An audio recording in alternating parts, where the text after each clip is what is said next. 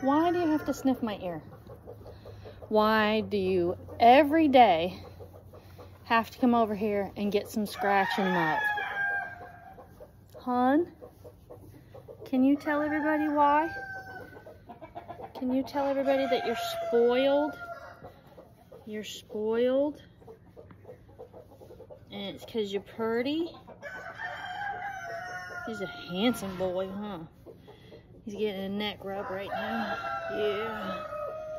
Neck rub, neck rub. If I stop, what are you gonna do? Hmm? Don't eat my dress. You want your face rubbed? Is that good?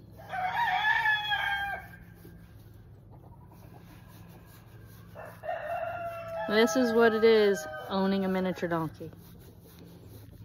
As he looks at himself in the reflection, he can see it.